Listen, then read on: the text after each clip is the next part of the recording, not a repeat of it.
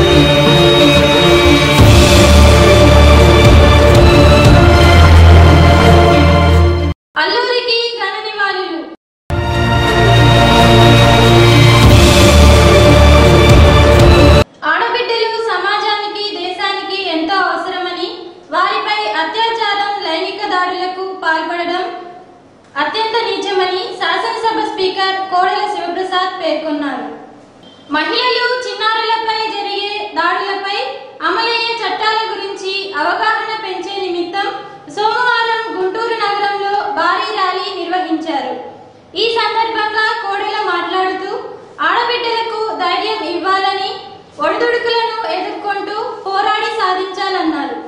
అవాంఛనీయ సంఘటనలు జరిగిన సమయంలో వారికి అండగా ఉండాలన్నారు. అనంతరం అందరితో ప్రతిజ్ఞ చేయించారు. ఈ కార్యక్రమంలో మంత్రులు నక్కా ఆనంద్ బాబు ప్రత్తిపాటి పుల్లారావు ఎమ్మెల్యే మోదుగుల వేణుగోపాలరెడ్డి మహిళా commission chairperson Nannapaneni Rajakumari ZP chairperson Janimoon collector Kona Sasidhar ఎస్పీలు విజయరావు అప్పలనాయుడు పలువురు అధికారులు నాయకులు వివిధ పాఠశాలలకు చెందిన విద్యార్థులు తదితరులు పాల్గొన్నారు. స్వతంత్రం వచ్చి డెబ్బై సంవత్సరాలు దాటింది. ఈ రోజున కూడా మనం ఆడబిడ్డలకు రక్షణ కల్పించాలి సాధికారిత కల్పించాలి అని కార్యక్రమాలు చేపట్టాల్సిన అవసరం రావడం కొంచెం బాధగా ఉంది. గొప్ప సంతోషం ఏంటంటే అసలు ఎందుకంటే చాలా ఆలస్యమైన చేయటం లేవని నయమని ఈ ప్రభుత్వం ముఖ్యమంత్రి చంద్రబాబు గారు ఆడబిడ్డల సాధికారత కోసం అక్షరాస్యత కోసం పేదరిక నిర్మూలన కోసం చైతన్యం కోసం రక్షణ కోసం ఇలాంటి ఉధృతమైన కార్యక్రమాలు చేపట్టి మహిళా లోకానికి ఆదర్శంగా రక్షణగా అన్నగా తండ్రిగా నిలబడటం అనేది చాలా సంతోషాన్ని కలిగిస్తుంది. ఈరోజు దేశంలో సమాజంలో సగభాగం ఆడవాళ్ళు. అంటే సంపూర్ణ స్వేచ్ఛ భారతంలో ఈ సగభాగం జనాభాకి రక్షణ సాధికారత. చట్టాలు అనుకూలంగా లేకపోతే సంపూర్ణ స్వతంత్రం వచ్చినట్టు కాదు. అందుకని సగం జనాభాకి మనం ప్రభుత్వ పరంగా చట్టపరంగా రాజ్యాంగ పరంగా ఇవ్వాల్సినటువంటిది కేవలం సానుభూతి కాదు. సానుభూతి కంటే మిన్నగా ఆత్మ ధైర్యం స్థైర్యం. వాళ్ళకి అక్షరాస్యత పేదరికం పోవాలి ధైర్యంగా నిలవాలి అని భరోసాని ఇవ్వడం ప్రభుత్వాల బాధ్యత. సమాజంలో చూస్తున్నా ఒక ఆంధ్రప్రదేశ్లోనే కాదు దేశవ్యాప్తంగా మొత్తం ఢిల్లీ రాజధానితో సహా ఇటీవల కాలంలో అనేక వార్తలు వస్తున్నాయి టీవీలో చూస్తున్నాం వాస్తవాలు చూస్తున్నాం. చిన్నారి మొగ్గలు బాలికలు యువతులు మహిళలు వృద్ధులు లేకుండా అనే లేకుండా అత్యాచారాలకు గురవుతున్నారు అవమానాలకు గురవుతున్నారు యాసిడ్ దాడులకు గురవుతున్నారు కత్తిపోట్లకు గురవుతున్నారు. అదేవిధంగా వీళ్ళు బాధితులైతే నేరగాళ్ళు కూడా చిన్న బిడ్డల దగ్గర నుంచి పదేళ్ళ పిల్లగాళ్ళ దగ్గర నుంచి బాలుల దగ్గర నుంచి యువకుల దగ్గర నుంచి వృద్ధుల వరకు కూడా ఇలాంటి వాటిలో భాగస్వాములు కావడం అనేది చాలా బాధగా ఉంది. ఏమిటి కారణం? ఏమిటి కారణం అని ఆలోచిస్తే ఒక పక్కన అశ్లీల సాహిత్యం కావచ్చు సినిమాలు కావచ్చు టీవీలు కావచ్చు లేకపోతే సోషల్ మీడియా చాలా చాలా వేగంగా శక్తివంతంగా ముందుకు పోవడం కావచ్చు అందులో వచ్చేటువంటి పెడతారు కావచ్చు. రాష్ట్ర వ్యాప్తంగా ఈ కార్యక్రమం జరుగుతూ ఉంది. ఆడబిడ్డకు రక్షగా కదులుదాం అనే స్లోగన్తో ఈ రాష్ట్రంలో ఉన్నటువంటి ఆడబిడ్డలందరికీ కూడా ఒక ధైర్యాన్ని ఒక భరోసాని కల్పించే దిశగా ఈ కార్యక్రమం విజయవంతంగా ముందుకెళ్తా ఉంది. అసలు ఈ కార్యక్రమం తీసుకోవడానికి కారణం ఏంటో మీ అందరికీ తెలుసు. ఇటీవల జరిగినటువంటి సంఘటన దాని ముందు జరిగినటువంటి సంఘటనలు అనేక సంఘటనలు. ఒక సంఘటన జరిగిందంటే ఆ సంఘటన సంబంధించినటువంటి సీరియస్నెస్. పత్రికలోనో మీడియాలోనో వచ్చేదాన్ని బట్టి సంఘటనలు తగ్గుతూ ఉంటాయి. అక్కడ జరిగినటువంటి ఈ తీసుకున్నటువంటి చర్యలను బట్టి అనుకుంటా ఉంటే ఇంకా పెరుగుతూ ఉన్నాయి. సమాజం ఎటుపోతుందో అర్థం కావట్లా. నిర్భయ చట్టం వచ్చింది నిర్భయ చట్టం వచ్చినాక భయపడిపోతారు ఇటువంటి సంఘటనలు ఆగుతాయి అనుకున్నాం. ఆగల పెరిగినాయి. ఓ అదేవిధంగా ఈరోజు జమ్మూ కాశ్మీర్లో సంఘటన జరిగింది యూపీలో సంఘటన జరిగింది. కేబినెట్ ఆర్డినెన్స్ తీసుకొచ్చారు ఇటువంటి సంఘటనలకి కారకులైన వాళ్ళని ఉరి శిక్ష వేయాలని చెప్పి ఒక ఆర్డినెన్స్ తీసుకొచ్చారు. భయపడిపోతారనుకున్నాం ఆ తర్వాత గుంటూరు జిల్లాలోనే మూడు నాలుగు సంఘటనలు జరిగినాయి. అంటే ఏం జరుగుతూ ఉంది? ఎటుపోతా ఉంది? సమాజం మనం ముందుకెళ్తా ఉన్నామా వెనక్కి వెళ్తా ఉన్నామా? భయం కలుగుతా ఉంది. సమాజంలో సగభాగం పైన ఆడబిడ్డలు ఉన్నారు. వాళ్ళకి రక్షణ లేదా లేదా మనుషుల్లో మగాళ్ళ మనస్తత్వాల్లో మార్పులు ఈ విధంగా సంభవిస్తున్నాయని ఆలోచన చేయాల్సిన అవసరం ఉంది. మగాళ్ళంటే మళ్ళీ అందరినీ అనుకోవాల్సిన అవసరం లేదు. వాళ్ళలో ఎవడో ఒకడో ఇద్దరు దుర్మార్గులు ఉంటారు.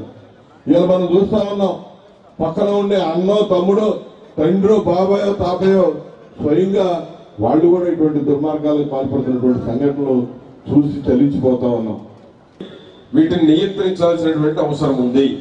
గతంలో ఎప్పుడూ లేదు. ఇటువంటి దురాలోచన అరవై ఏళ్ళ వయసు వాళ్ళు పదేళ్ళ చిన్నారిని ముక్కు పచ్చదారిని బాలికల్ని ఈ విధంగా చేయటం అంటే ఎందుకంటే ఒక తల్లిలో చెల్లో ప్రతి ఒక్కరికి ఉంటారు ఒక సామాజిక బాధ్యతగా ఉండాలి. ఆ సామాజిక బాధ్యతను మరచి మృగాల్లాగా ప్రవర్తించేటువంటి వారికి గౌరవ ముఖ్యమంత్రి గారు ఒకటే వార్నింగ్ ఇచ్చారు. అదే చివరి రోజు. ఆ చివరి రోజు ఎవరు కోరుకోకుండా ఉండాలి? ప్రతి ఒక్కరి ఆలోచనలు ఈ రోజు చంద్రబాబు నాయుడు గారి పిలుపుకి ఆడబిడ్డకు రక్షగా రక్షగా కదులుదామనేటువంటి పిలుపు ఈ రాష్ట్రంలో ఉన్న ఐదు కోట్ల మంది ఆలోచనలు మారాలి దురాలోచనలు లేకపోతే ఇటువంటి మృగాలు మారేటువంటి మనస్తత్వాలు ఎక్కడ దరిచేరనీయకుండా ఒక మార్పుకి చేసేటువంటి ఈ యొక్క ప్రయత్నం అది అందరం సామాజిక బాధ్యతగా తీసుకొని మన సంస్కృతి సాంప్రదాయాలు ఆ గౌరవాల్ని మనం కాపాడుకునేటువంటి విధంగా సమాజం ముందుకు నడవాలని నేను ఆశిస్తూ ఆకాంక్షిస్తూ సెలవు తీసుకుంటా ఉన్నాను. నమస్కారం. పేరు మోసిన క్రిమినల్లో కరుడుగట్టిన వ్యక్తి కాదు. మన ఇంటిలోనే మనం సాధారణంగా నమ్మే వ్యక్తి చుట్టుపక్కల ఉండే బాబాయ్ అని పిలిచే వ్యక్తి పెదనాన్న అని పిలిచే వ్యక్తి తాత అని పిలిచే వ్యక్తి. ఇటువంటి వాళ్ళ నుంచి ఈరోజు కొన్ని సంఘటనలు చూసిన తర్వాత ప్రతి ఒక్కళ్ళు కూడా బాధపడ్డాం ఎందుకు ఇలా జరుగుతుంది? ఏం చేయాలి ముఖ్యమంత్రి గారు రెండు రోజుల క్రితం గుంటూరు వచ్చినప్పుడు వారు చెప్పారు ఇది ప్రతి ఒక్కరి బాధ్యత ప్రతి ఒక్కరు ఆలోచించాలి. పెద్దలు మాట్లాడతారు మంత్రివర్యులు మాట్లాడతారు గౌరవనీయులు స్పీకర్ గారు మాట్లాడతారు. నేను రెండే రెండు విషయాలు చెప్తాను ఒకటి ఆడపిల్లల రక్షణ ఆడపిల్లలతో పాటు ఉండటం ఆడపిల్లలకు భరోసా ఇవ్వటం ప్రతి ఒక్కళ్ళ బాధ్యత. ఈ రోజు చూస్తున్నాం కొంతమంది ఆడపడుచులు వచ్చి ఒక దిష్టి బొమ్మని ఇక్కడ ఏలాడదీశారు ఉరి ఉరి తీస్తున్నట్టు ఏలాడదీశారు ఎవరైనా ఆడపిల్లల పట్ల ఏ రకంగా అయినా అఘాయిత్యాలు చేయాలని తలుచుకుంటే ముఖ్యమంత్రి గారు చెప్పినట్టుగా వాళ్ళకి ఇదే గట్టి పడుతుంది. ఖచ్చితంగా కబడ్దార్ ఉరి శిక్ష పడేలాగా ప్రభుత్వ యంత్రాంగం చర్యలు తీసుకుంటుంది. రెండో విషయం ఈ విషయంలో ఎయిడ్స్ గురించి మాట్లాడుకున్నప్పుడు ఒకప్పుడు ఎయిడ్స్ మహమ్మారి విస్తృతంగా అది ప్రజల్లో పెడుతున్నప్పుడు break the silence let's talk about sex అన్నది గుడ్ మార్నింగ్ ఈరోజు ఆడబిడ్డలకు రక్షగా కదులుదాం అనే కార్యక్రమంలో ఎంటైర్ పోలీస్ డిపార్ట్మెంట్ మన గుంటూరు డిపార్ట్మెంట్లో ఉన్న పోలీస్ సిబ్బంది హోంగార్డ్ దగ్గర నుంచి జిల్లాలో ఉన్న ఇద్దరు ఎస్పీలు కూడా ఇక్కడ పార్టిసిపేట్ చేయడం జరిగింది. ఒక బృహత్తరమైన కార్యక్రమం. ప్రభుత్వం దానికి ముందుండి మన జిల్లా కలెక్టర్ గారి ఆధ్వర్యంలో మన మంత్రివర్యులు గౌరవ స్పీకర్ గారి ఆధ్వర్యంలో ఈ ప్రోగ్రాం నడుస్తుంది. ఈ ప్రోగ్రాంలో మేము నిజంగా పార్టిసిపేషన్ చేసినందుకు మేము తొలగించిపోతున్నాం నిజంగా. ఇట్లాంటి ప్రోగ్రాం యాక్చువల్గా చిన్నారులపై లైంగిక దాడులు అనే ఈ కాన్సెప్ట్ దీన్ని మనమందరం కూడా ఖండించాలి. ఇందాకే మన ఎమ్మెల్సీ గారు చెప్పారు ఉత్తరప్రదేశ్లో ఒక మహిళపై యూ టీజింగ్ చేయడానికి ప్రయత్నిస్తే అక్కడ మహిళ ఆ వ్యక్తి ఎవరైతే యూ టీజింగ్ చేస్తున్నారో అతన్ని కొట్టి దానికి పోలీస్ స్టేషన్లో హ్యాండ్ ఓవర్ చేశారని. అట్లాంటి ధైర్యం ఉన్న ధైర్య మన గుంటూరులో కావాలి. అట్లాంటి ధైర్యంగా ఉన్న మహిళలు మనకు కావాలి. మన బాలికలు బాలలు అందరూ ధైర్యంగా ఉండాలి. అట్లాంటి మహిళలు ఎవరు ఉంటే అట్లాంటి బాలికలను బాలలను కూడా మేము సన్మానిస్తాం. యూ టీజింగ్ చేసే వారిని ఎవరిని కూడా ప్రోత్సహించొద్దు. ర్యాగింగ్ చేసే వారిని ఎవరిని కూడా ప్రోత్సహించొద్దు. ఇలాగే బాలికలపై లైంగిక దాడులు చేసే వారిని కూడా ఎవరిని కూడా ప్రోత్సహించొద్దు. అట్లాంటి వారిపై మేము రౌడీ షీట్స్ సస్పెక్ట్ షీట్స్ కూడా ఓపెన్ చేస్తున్నాం. దాదాపు ఇరవైకి పైగా సస్పెక్ట్ షీట్స్ బాలికలపై ప్రసంగించేంత పట్టుదలగా అంటే నా దగ్గర అంతా లేకపోవచ్చు. మహానుభావులు అందరూ చెప్పారు ఆల్రెడీ. ఒక మాట అంతా నేను చెప్పగలను. నేను ప్రతిదీ కూడా పురాణాలు. నేను చూసిన పురాణాలు నేను విన్న పురాణాలతో నేను ఒకసారి లింకప్ చేసుకుంటాను మన భారత రామాయణాలకి వెళ్తే ప్రతి ఒక్కటి ఇప్పుడున్న ప్రతి ఒక్కటి కూడా అక్కడ కనబడుతుంది. ఇప్పుడున్న కిడ్నాప్స్ కానీ ఇప్పుడున్న హర్ట్ కేసెస్ కానీ ఇప్పుడున్న దొంగతనాలు కానీ ఏది చూసుకున్నా అక్కడ కనబడుతుంది. ఇప్పుడున్న టెక్నాలజీస్ కూడా అప్పుడు కనబడతాయి. క్లోనింగ్ ఉంటుంది రిమోట్ సెన్సింగ్ ఉంటుంది. మీరు చూడండి ప్రతి దగ్గర కూడా ఏదో ఒకటి కనబడుతుంది. రేప్స్ కూడా. కానీ లైంగిక పిల్లల మీద లైంగిక దాడి అనేది ఎక్కడా కనబడదు ఎక్కడా కనబడదు అంత ఉత్కృష్ట కావ్యంలో కూడా ఎన్నాళ్ళు ఇన్ని సంవత్సరాల ముందు జరగబోయేది ఎప్పుడో రాశారు. కానీ ఆ వ్యాసుడు లేకపోతే అప్పుడు రాశారు ఎవరైనా సరే ఇటువంటివి జరుగుతుందని ఎప్పుడూ ఊహించలేదు. అంత నీచ సంస్కృతి అటువంటిది మనం ఇప్పుడు ఏం చేస్తున్నాం? ఒక్కసారి అంబులెన్స్కి దారిపండి ప్రార్థన. అందరికీ వెళ్ళిపోయింది. దానికి కారణం మా నాన్న. మా నాన్న మా అమ్మని ఇద్దరు చెల్లెలని తన చేతులతో చంపేశాడు. ఆ మరుసటి రోజే తను సూసైడ్ చేసుకొని చనిపోయాడు. ఇప్పుడు నేను ఒక్కటే ఉన్నాను. అది జరిగిన ఇరవై నాలుగు గంటల వ్యవధిలోనే సీఎం గారి ఆదేశంతో నన్నపనేని రాజ్ కుమారి గారు నా దగ్గరికి వచ్చి సీఎం గారి దగ్గర తీసుకెళ్ళారు ఆయన ఆ రోజు ఇచ్చిన భరోసాతోనే నేను ఈ రోజు ఇలా ఉన్నాను. మీ అందరికీ తెలుసు ఒక అమ్మ నాన్న తోడబుట్టిన వాళ్ళు ఒక గంట వ్యవధిలోనే అందరూ చనిపోయారు. అలాంటప్పుడు ఎలా ఉంటుంది సిచ్యువేషన్ ఇంకా నా జీవితం ఎందుకు నేనెందుకు ఇంకా బ్రతుకుండడం? అది నా పరిస్థితి ఆ సమయంలో. తర్వాత సీఎం గారి దగ్గరికి వెళ్ళిన తర్వాత ఆయన నన్ను దత్తత తీసుకున్నారు ఇరవై లక్షల ఆర్థిక సహాయం చేస్తానన్నారు చేశారు కూడా. అలాగే ప్రభుత్వ ఉద్యోగం ఇస్తానని హామీ ఇచ్చారు. గిరిజన హక్కుల సాధన కోసం బ్రిటిష్ వారిపై తిరుగుబాటు చేసిన మన్యం వీరుడు అల్లూరి సీతారామరాజు అని రాష్ట్ర మంత్రులు నక్క ఆనందబాబు ప్రతిపాటి పుల్లారావు నివాళులు అర్పించారు.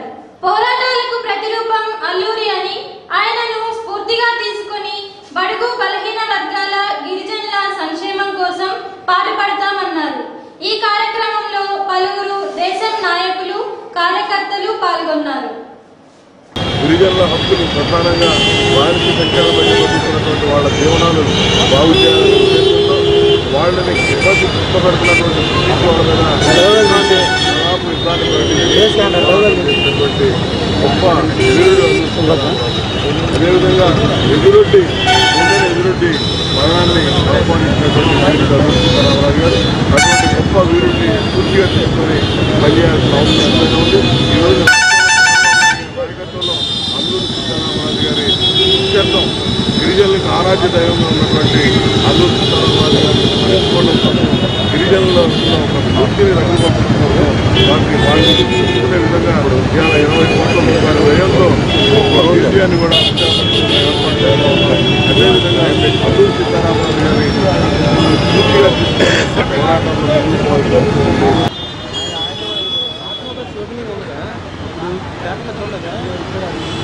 స్ఫూర్తిగా తీసుకుని పోరాటంలో ముందుకు పాలకుల మీద తిరుగుబాటు చేసి బ్రిటిష్ పాలకులను తరిమి కొట్టేటువంటి దాంట్లో అల్లూరి సీతారామరాజు గారిని యొక్క మానవాళి ఉన్నంత కాలం భారతదేశ చరిత్రలో అల్లూరి సీతారామరాజు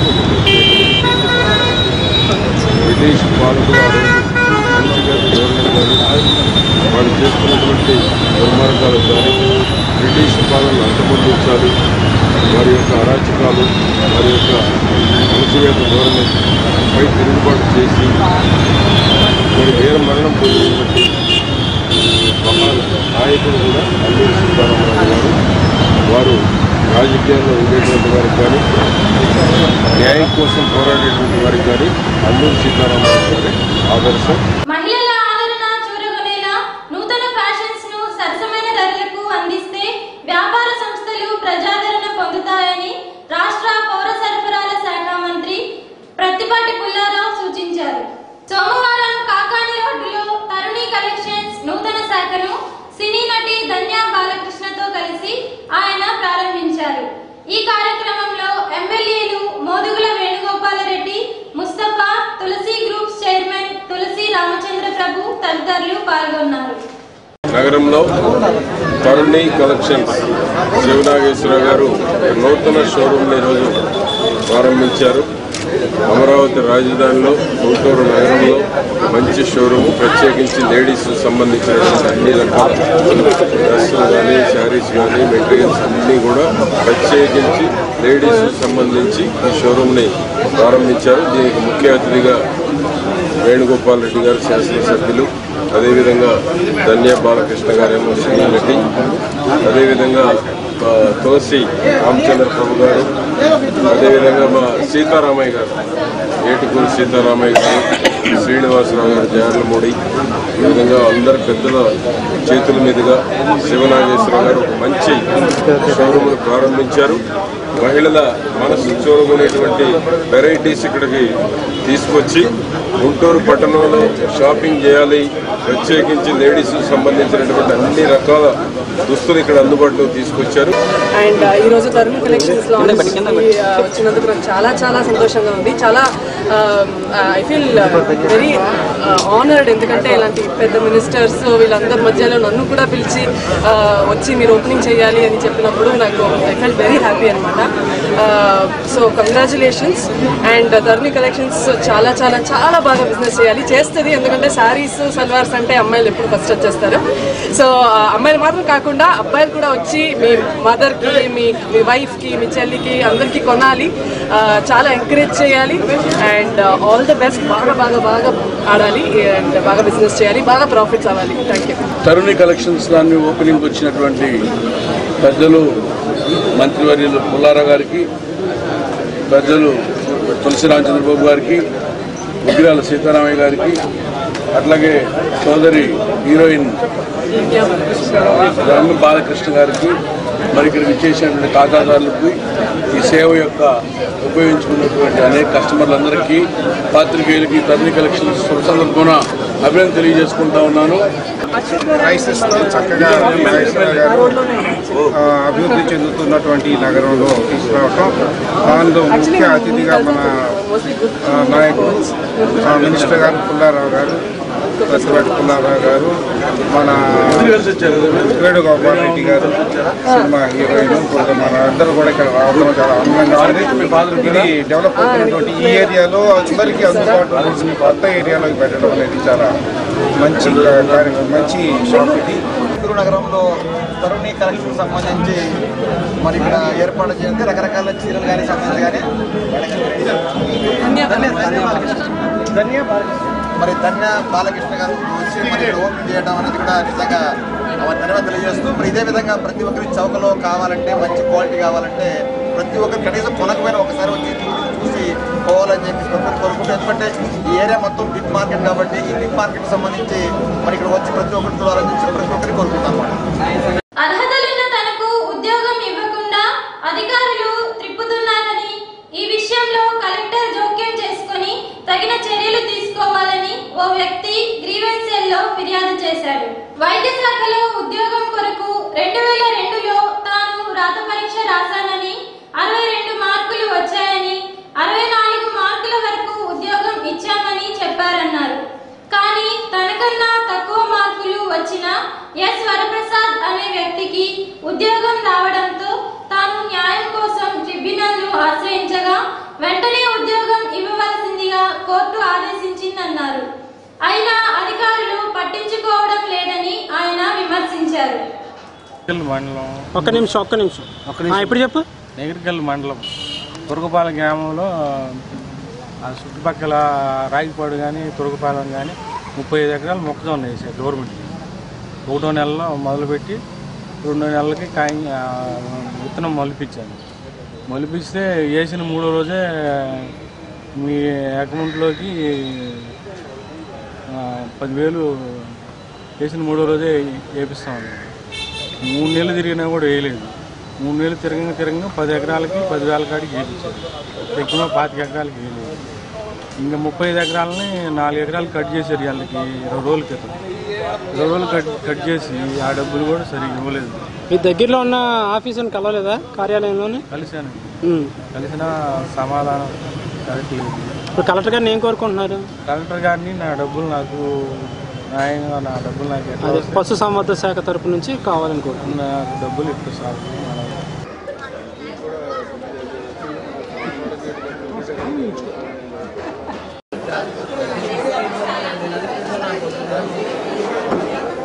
తినేటప్పుడు ఇస్తాను లేదు లేదు మిమ్మల్ని తినండి మీరు తినండి.